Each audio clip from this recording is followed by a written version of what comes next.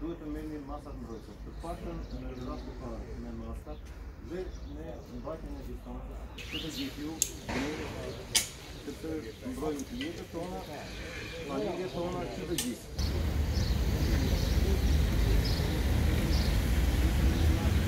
Ruani distancën, dhe me maska, dhe me doreza, të dhe me më të një se jemi të sigur që të gjithë. Për në pas të aktit normativ, numër 3 dhe urdhër të ministrit të shëndetësisë nuk në ambientet të mbyllura. Do merrni masa administrative. Numrin e NIP-it, kartën e identitetit.